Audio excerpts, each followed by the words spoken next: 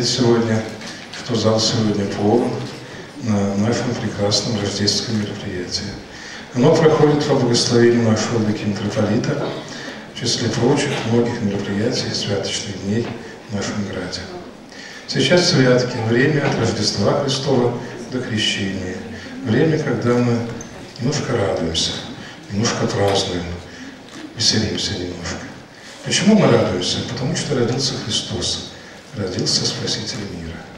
Он, конечно, родился не для того, чтобы мы собирались только вот на рождественских концертах, а для того, чтобы мы были спасены. Спасение, конечно, обретается в храме Божьем, поэтому я надеюсь, что все вы входите в храм Господень и молитесь Богу и просите Его о помощи и заступлении и прощении своих грехов. Я всех вас приветствую, дорогие братья и сестры. Всем вам желаю милости Божией, радости, благополучия, теплых, счастливых, святочных дней. Мне очень радостно приветствовать организаторов концерта Татьяну Александровну Фаворскую, которая многие годы с нами сотрудничает, является председателем Русского общества в Латвии.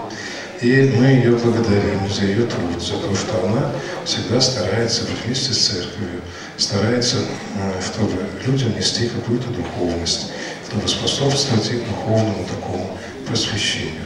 Спасибо вам большое, дорогая Татьяна Александровна. Я рад вам передать благословение нашего владыки митрополита и букет цветов от него. Да?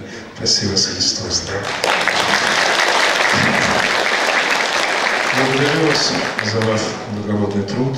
Дай вам Господь долгих лет жизни и еще многие годы трудиться на ниве общественного служения. Кому-то надо это делать, кто-то должен за это браться. Спасибо вам большое, храни вас Господь.